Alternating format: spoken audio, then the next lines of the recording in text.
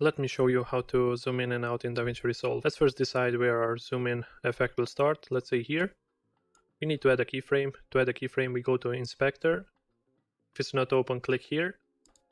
And we need to add a keyframe where it says zoom X and zoom Y. To add a keyframe, click on this diamond shape here and when it turns red it means that a keyframe has been added. When I added a keyframe two new icons showed up in this lower corner here. Let's click the right one. If we click that icon we will see all the keyframes added. Now we need to decide where the zoom in effect ends. Let's say somewhere here. We need to add another keyframe. There is another way to add a keyframe. All you have to do is change either of the values and a keyframe has been added as you can see in this area here. Now we need to decide where we want our zoom out effect to start. Let's say it's gonna be somewhere here.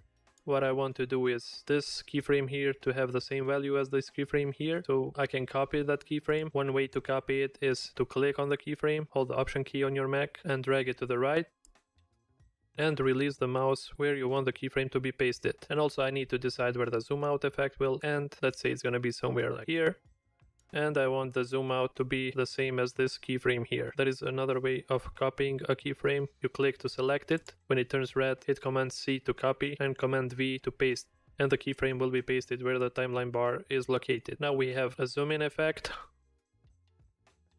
and the zoom out effect. When we added the keyframe on the transform tab, you notice that the zoom X and zoom Y are linked together, which means whichever value we change, both will be changed together accordingly, proportionally. When we have more than one value keyframed, you will see an arrow, right arrow icon here, and if you click it, you will see all the keyframed values. In our case, is the zoom X and zoom Y. The last thing I want to show you is how to change the animation. Click on this icon here. I want to add an ease out effect to this keyframe, select it and click this icon here. And I want to add an ease in effect here, select it and hit this icon here and now we have changed the animation. If you want to move the keyframes left and right, you can do it from here or from this area here. It will be better to move them from here. If you want them just to be moved horizontally, just click the icons here, click this keyframe, hold the command on Mac and click on the second keyframe and now if we click and drag them to the left or to the right the keyframes will be moved accordingly and here is our final animation.